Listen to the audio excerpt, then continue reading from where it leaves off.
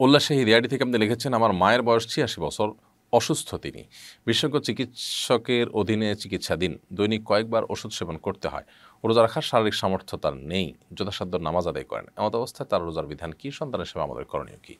বা শহীদুল্লাহ, আপনার মাকে আল্লাহ তালা পরিপূর্ণ শেফা দান করুন, সুস্থতা দান করুন, যতদিন বেঁচে থাকেন আল্লাহ তালা নেক হায়াত দান করুন, আমরা দোয়া করি।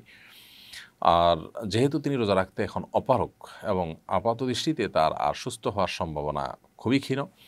তো এমতো পরিস্থিতিতে আপনারা তার তরফ থেকে ফিদিয়া আদায় করবেন। আল্লাহ সুমতাল্লাহ বলেছেন আদাল্লাদিন ইতিকুন ফিদিয়া তো মিসকিন। যারা সিয়াম রাখতে অপারক রোজা রাখতে যারা অপারক তাদের পক্ষ থেকে মিসকিনদেরকে খাদ্য দিবেন ফিদিয়া হিসেবে। তো সেই ফিদিয়া আপনি দান করবেন।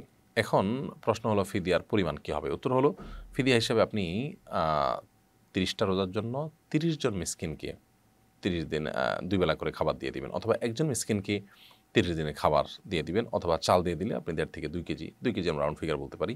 দুই কেজি করে চাল হিসাব করলে তিরিশ রোজার জন্য ষাট কেজি চাল আপনি গরিব মিসকিনে দিয়ে দিবেন। ইনশাআল্লাহ বিদিল্লা তাতে আপনার মায়ের পর, পক্ষ থেকে রোজা রাখার যে দায়িত্ব সেটা আদায় হয়ে যাবে।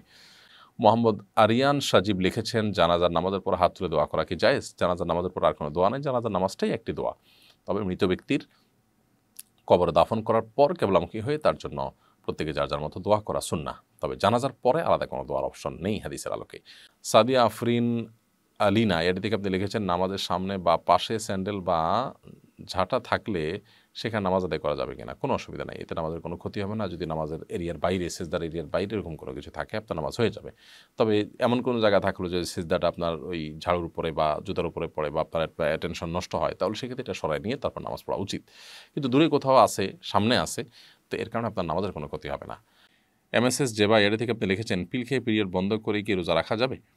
পিল খেয়ে পিরিয়ড বন্ধ করে আপনি যদি রোজা রাখতে চান, তাহলে সেক্ষেত্রে চেষ্টা করতে পারেন। যদি তার কোনো বড় সাইড এফেক্ট না থাকে শরীরে বড় কোনো ক্ষতির কারণ না হয়, তাহলে সেক্ষেত্রে করতে পারেন। আর যদি এরকম বড় কোনো ক্ষতির আশঙ্কা থাকে, তাহলে সেক্ষেত্রে সেটা করা যাবে না, কারণ শরীরে ক্ষতি করে আপনার রোজা রাখার নির্দেশ শরীয়ত আপনাকে দেয়নি, বরং শরীয়ত শরীরের দিকে লক্ষ্য করা আলাদা নির্দেশনা আমাদেরকে দিয়েছে। সাইদ মাহমুদুল হাসান আপনি লিখেছেন, রোজা অবস্থায় কানে ড্রপ দেওয়া যাবে কিনা? রোজা অবস্থায় কানে ড্রপ দেওয়া নিয়ে ওলামাদের একাধিক মত আছে, অনেক ওলামা একরাম নিষেধ করেন, তবে কানে ড্রপ দেওয়া যাবে এই মতটি অধিকতর বিশুদ্ধ আমার কাছে মনে হয়। কারণ আমি নিজেও একাধিক না কান গলার ডাক্তারের সাথে কথা বলেছি, তারা জানিয়েছেন যে আমাদের কানের যে ছিদ্র, এটার সাথে আমাদের কন্ট্রোলের কোনো সম্পর্ক নেই। অর্থাৎ সেখানে কোনো কানেকশন নেই, ফলে এখানে ড্রপ দিলে সেটা আমাদের পেটে যাবে, সেই সম্ভাবনা নেই। সাধারণ অবস্থাতে সেই সম্ভাবনা না থাকার কারণে কানে ড্রপ দিলে রোজার ক্ষতি হবে না। চোখে তো ড্রপ দেওয়া যাবেই, আর নাকে ড্রপ দেওয়া যাবে না রোজা অবস্থায়।